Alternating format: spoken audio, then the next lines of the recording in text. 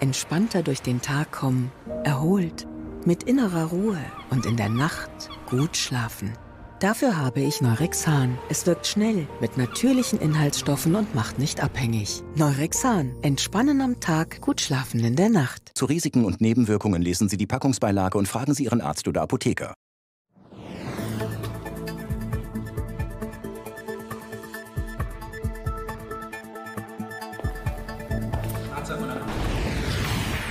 ...18.45 Uhr, guten Abend zu RTL Aktuell und das sind unsere Themen.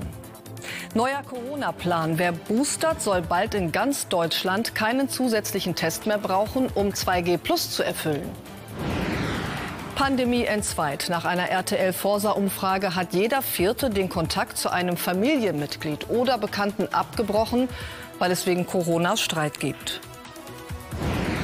Und mit 16 zur Darts-WM. Ab morgen will ein Frankfurter Schüler im legendären Ali Pelli die Weltelite aufmischen.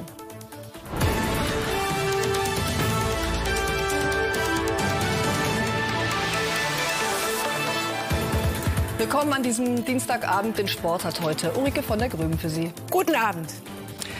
Die gefühlte Corona-Achterbahnfahrt, sie geht weiter. Die Fallzahlen bei uns gehen zwar zurück, doch die Omikron-Variante beunruhigt zunehmend. Noch zehn Tage bis Weihnachten und wir wissen noch nicht, wie das Fest tatsächlich aussehen wird.